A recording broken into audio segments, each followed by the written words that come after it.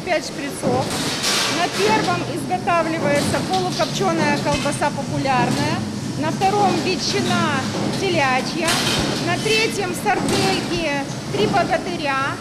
На четвертом сардельки добрые. И на пятом тоже сардельки капитошки с сыром. Бендерский мясокомбинат, колбасный цех. Все кипит, дымит и движется. Колбасы, сардельки, копчености. Склад до потолка заставлен ящиками. Все это уже завтра будет на прилавках. Дефицита нет. настроены оптимистично. В месяц мы выпускаем около 150 тонн полуфабрикатов и где-то около 300 колбасных изделий. Э, Мы работаем по заявкам нашей торговой сети, удовлетворяем все наши заявки. И в случае необходимости мы можем увеличить выпуск продукции, ну, свободно, где-то процентов на 20, на 30.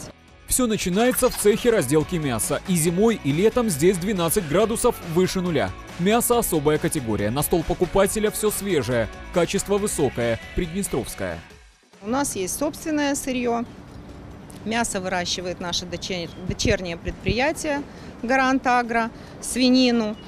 Э, Говядину мы тоже покупаем э, местную, приднестровскую.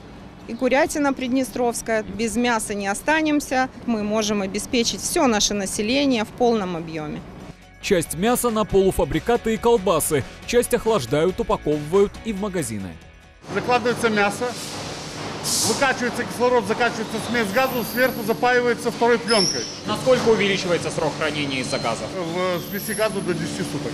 Очень хорошо охлажденное мясо продается. Мы стараемся нарастить производство для того, чтобы удовлетворить весь спрос. В ассортименте Бендерского мясокомбината порядка 300 наименований. Свежее мясо, колбасы, консервы. Здесь делают лаваш. Мука высшего качества, вода, соль и суперсовременное оборудование. Само нарезает, само печет. 30 секунд при температуре 270 и готово. Еще на комбинате замораживают овощи, делают домашнюю лапшу, блины, хинкали, вареники. Эта машина лепит пельмени, за смену более тонны, а рядом хендмейд. Это производят полуфабрикаты из теста э, э, с мясом, э, чебулени. Чебулени – это разработка наших специалистов. Можно в кипящем фритюре э, обжарить, это будут маленькие чебуреки, или сварить в воде, как пельмени.